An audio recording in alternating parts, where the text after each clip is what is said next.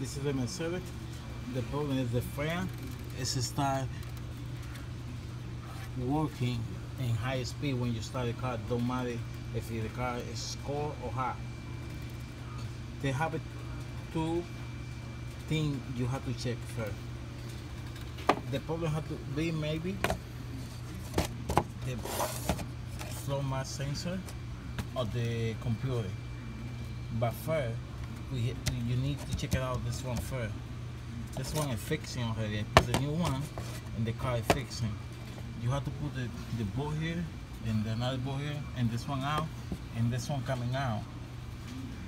And this one here, you have to pull out. And the connection, the hose are here and this one here and this one here. In the bottom, they have one clip. You have to pull out the clip and this this part coming out. When you pull this one out, you find the sensor in the back. You have to change this one. How you test this one? You start the car. If the car start running, the fan faster and the high speed, you the connection. If the the fan shut up, you need to change the sensor.